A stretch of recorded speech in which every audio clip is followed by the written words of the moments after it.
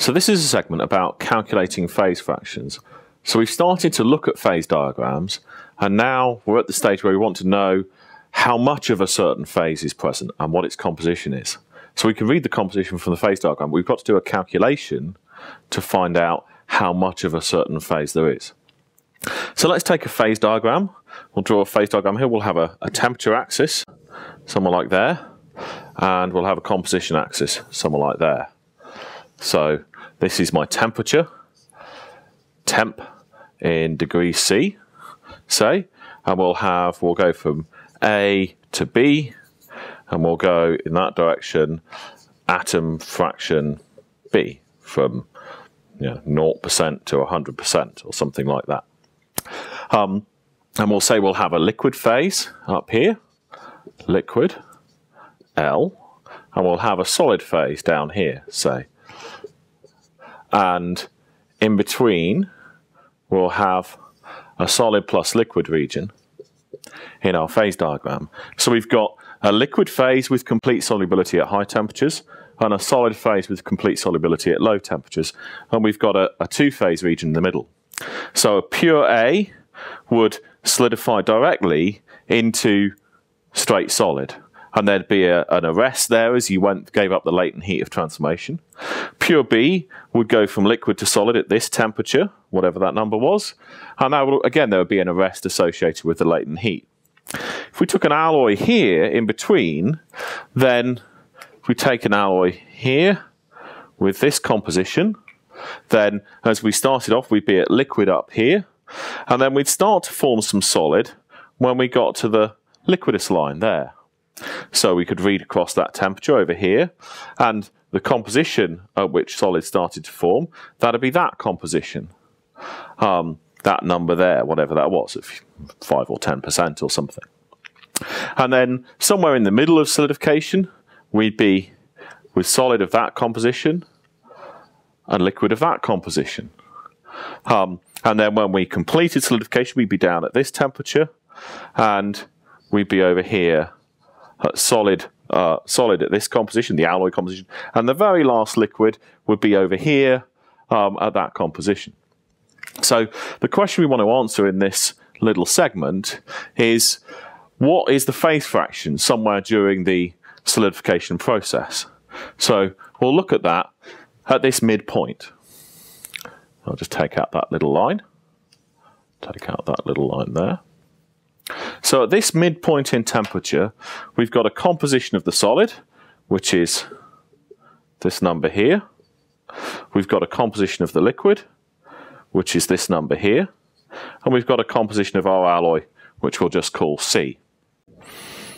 And we've got a volume fraction of each of those. So we've got a volume fraction of the solid, and we've got a volume fraction of the liquid. And we know that uh, we've got those have to sum to 1. It's either all solid or liquid or somewhere in between.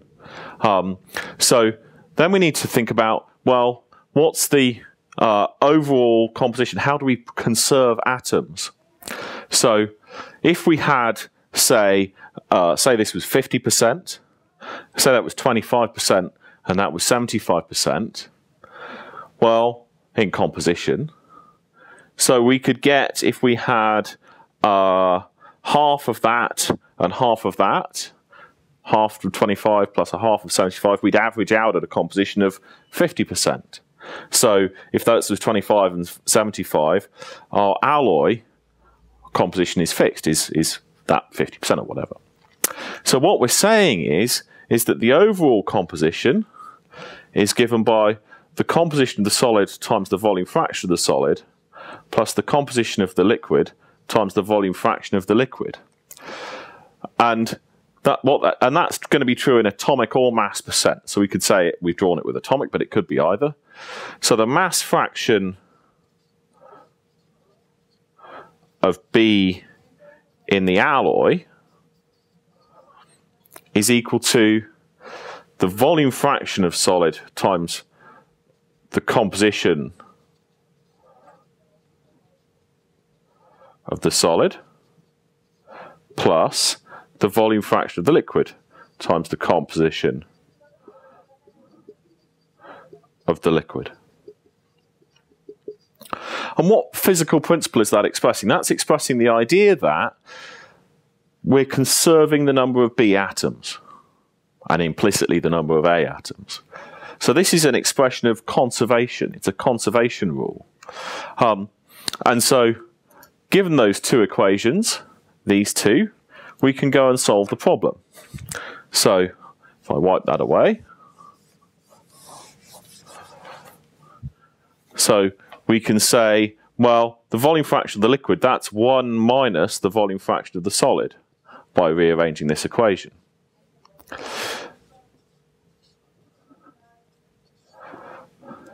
So then we just have to, oops, there's a plus there. So then we just have to multiply this out and we'll be more or less home free.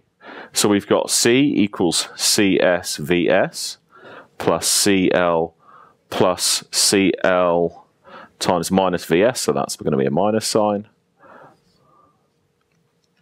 So we can collect together the VS terms. That's CS minus CL times VS plus CL. So if we pull this over here, that's going to be C minus CL.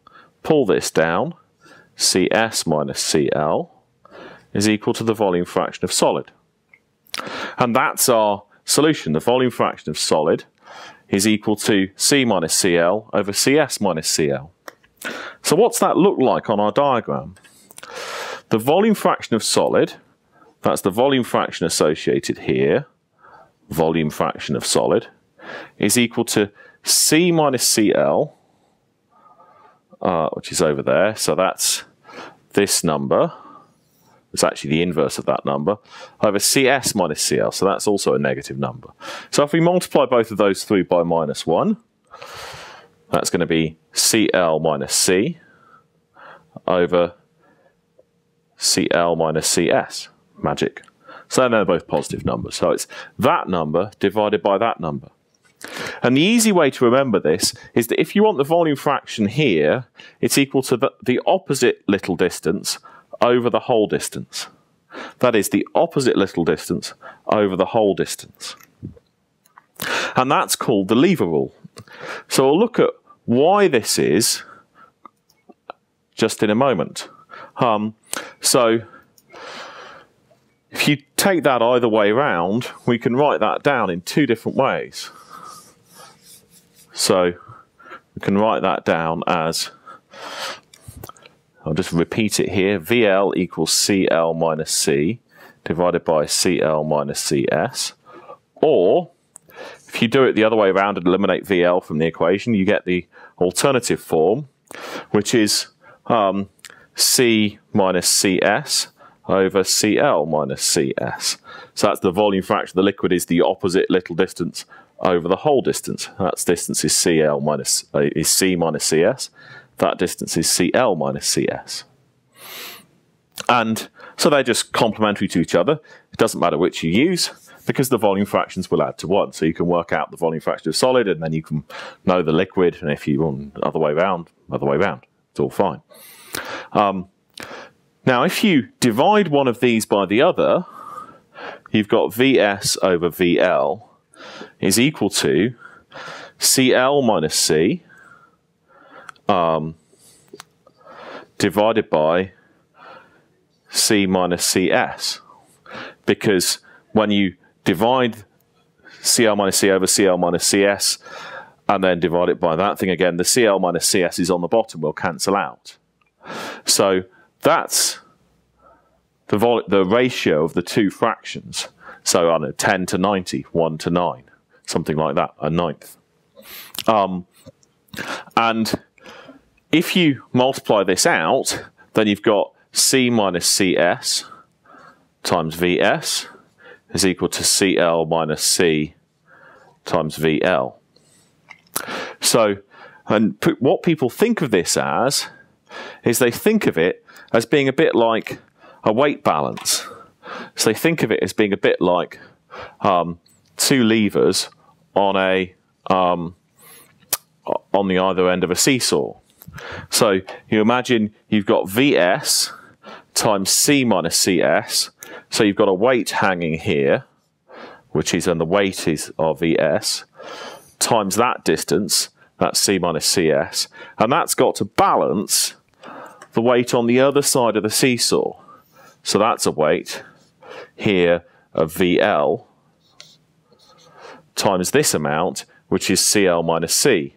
And they're sitting there on a seesaw, competing with each other. So it's like two people sitting on either side of a seesaw, and it's got to be in balance. And so it's called the lever rule. So this is called the lever rule. And that's one way to remember that formula. Um, now, it doesn't matter very much how you remember it.